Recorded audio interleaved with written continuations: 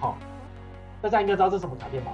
它这个回馈的话，其实它基本上就是国内一趴，海外二点五趴，然后缴税的部分有三零点三趴这样。这张卡片其实呃，我个人我个人觉得说，如果您自己是呃有缴税大户，你是缴税大户的话，你有很多很多的东税杂费啊，然后还有什么水费电费有的没的，然后还有你自己的重所税要缴很多的话，你可以考虑办下来使用。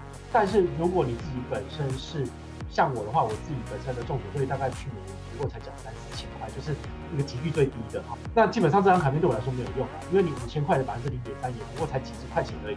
那到底用这张卡缴跟我用永丰卡缴到底有什么差？当然是永丰比较好啊，永丰还给你六趴，对不对？本来豆卡的回馈，国内外基本上都已经打爆它了，所以这张卡片它到底有没有竞争力？我个人觉得没有竞争力，连我们的 Banky 卡随随便便都把这张卡片打爆了，你知道吗？Banky 卡都已经一点二跟三趴了。假如说你不喜欢 lipods 卡的话，那反而你应该要办这张卡片。为什么？因为这张卡片就是所谓的国内外至少无脑一趴起跳啊。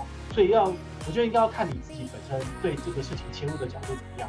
如果你把它跟其他二零一九年其他卡片来比较的话，它的确没有那么好。但是它其实是中国信托所有的信用卡里面算是免年费，但是又好回馈还不错的信用卡。甚至它连缴税都。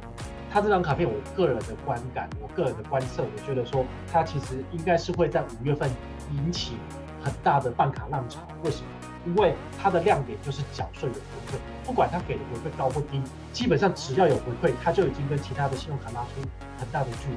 那再来的话就是，呃，一般使用中国信托、常态使用中国信托信用卡的人，他们基本上，呃，可能都不太在乎这个回馈率的部分。所以，他一般呢，比如说他的中国联名卡回馈率本来就很烂嘛，就给那个红利点数，红利点数中信的一个红利点数一倍才零点二七，然后就很差。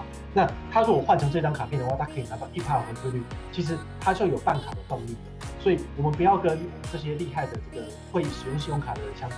一般的普罗大众，对一般的普罗大众而言，然后这样卡片是非常有吸引力。好，我个人觉得它有可能会成功。好，所以这个是他们产品偏厉害的地方。信用卡快评就在我这两分钟之内我就讲完了。所以有没有需要，到底要不要办，你们就自己决定。好。谢谢